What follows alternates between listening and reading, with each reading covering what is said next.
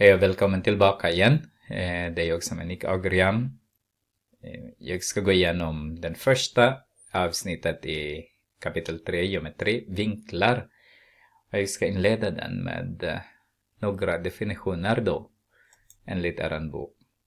Här, det är jätteviktigt att ni måste förstå den här ordet definition.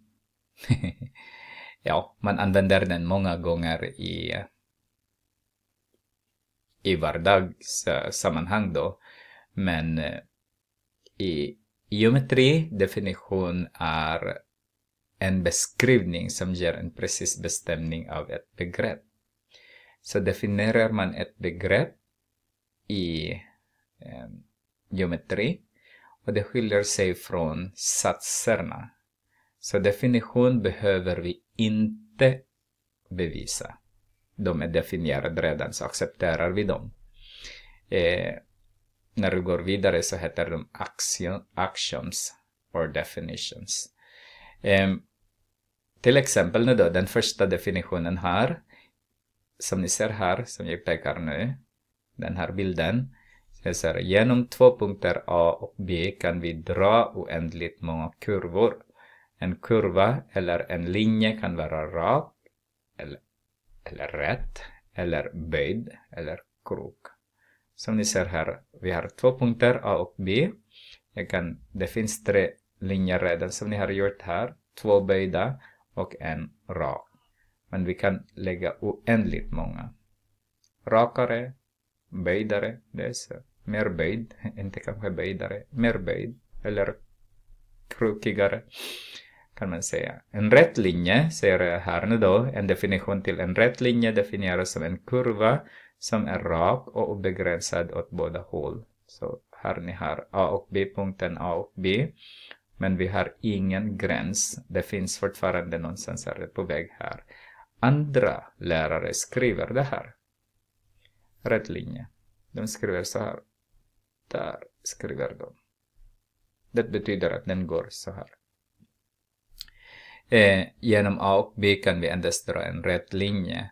Två rätta linjer som ligger i samma plan och inte skär varandra är parallella, som ni har lärt där redan innan. Så rätt linje. Det finns ingen, äh, ingen gräns båda håll. Däremot en sträcka beskrivs en rätt linje som är begränsad åt båda hållen. Där. Så det finns inget mer. Det, det slutar där i A och B. Figuren till höger illustrerar sträckan AB.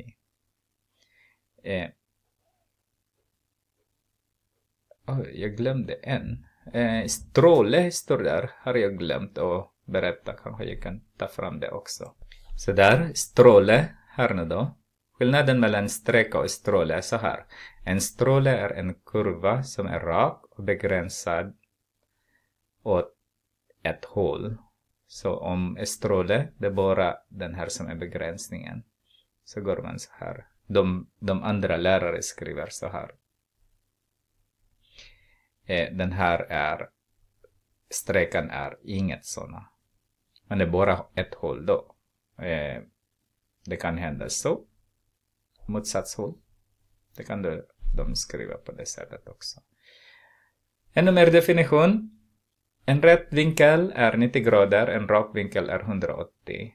Sidorna U och V är tillsammans 180. De heter sidovinklar. Så U plus V är lika med 180 grader. De heter sidovinklar.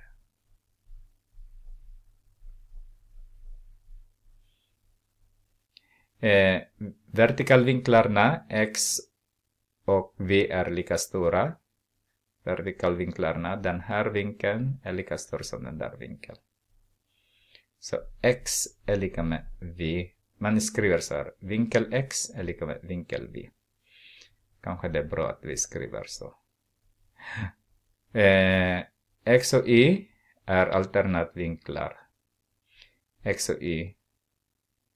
Här, X och Y. De är lika också. Den här är vertikalvinklar. SRR. där. Vertikalvinklar där. Och den här är x och y, de heter alternatvinklar. E, det här är bara när ni har L1 och L2 som är parallella. Om de inte är parallella så det funkar inte den här. Och vi har vinkel Y är lika med vinkel vad blir det? V som heter likbelagna. De är i samma sida av linjen då, man säger så. Det kan vara svårt att komma ihåg alla dessa, men jag tror uh, formelbladet har någonting om den här.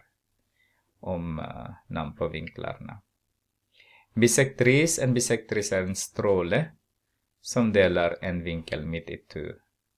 Så alltså vinkel de ska dela, inte, inte, ja, inte det, vad heter den, inte den här de delar. De delar vinklar, va? som att det blir lika. Så inte argen de delar, om man säger så.